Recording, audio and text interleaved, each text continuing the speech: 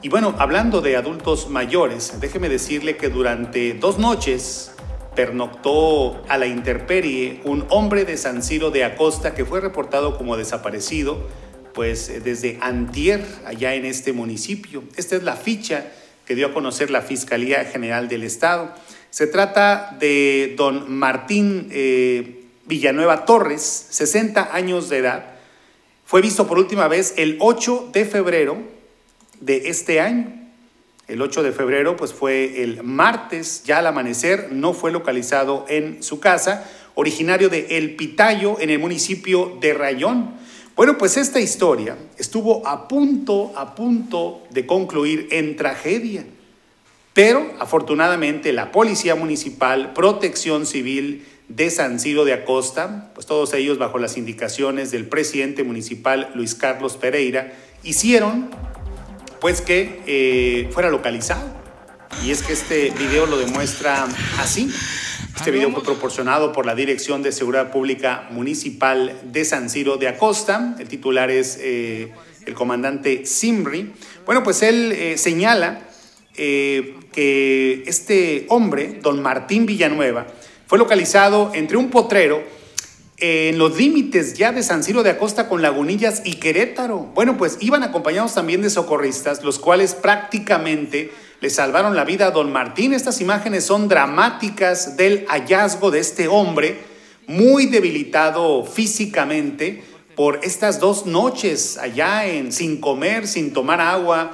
Y bueno, pues eh, con un frío tremendo. Usted sabe que estos dos últimos días ha hecho bastante, bastante frío. Y aún así, Don Martín Villanueva, a sus 60 años, logró sobrevivir. ¿Qué nos dice la policía eh, municipal? Bueno, pues nos señala que don Martín fue encontrado con deshidratación, con hipotermia, tenía una saturación de oxígeno pues eh, grave y bueno, pues de inmediato los paramédicos lo canalizaron y con oxígeno lo sacaron hasta la carretera San Ciro La Trinidad donde abordó una patrulla que lo trasladó de emergencia hasta Río Verde, a la altura del Bordo Blanco. Entonces eh, lo eh, interceptó una ambulancia de la Cruz Roja de Río Verde para finalmente ingresarlo al Hospital General de Río Verde. Así es que don Martín, pues dice su familia que salió durante la madrugada, no se conoce muy bien el contexto del por qué habría salido a esa hora y eh, evidentemente pues eh, se internó y después se le hizo complicado regresar. La policía municipal, con apoyo de voluntarios de esta comunidad, pues realizaron un peinado durante dos días, barriendo prácticamente la zona que tiene muy difícil acceso. Es monte tremendamente y solamente la gente capacitada con alguna condición física pues puede cruzar por ese, por ese lugar. Así es que pues la verdad es que es un final feliz de una situación que pudo haber terminado en tragedia. Y es que en San Ciro de Acosta hay experiencias tremendas, terribles, de personas que van al monte y desaparecen y ya no los encuentran.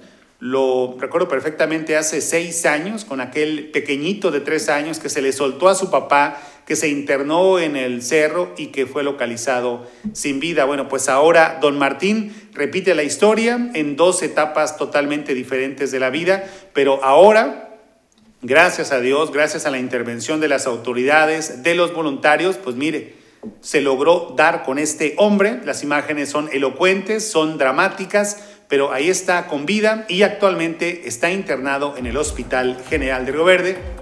Esperemos que se recupere y bueno, pues que regrese a su comunidad, allá esta comunidad muy conocida, muy conocida del municipio de San Ciro de Acosta. Así es que bueno, pues hay capacidad de respuesta de las autoridades municipales en San Ciro de Acosta y esa también es una muy buena noticia.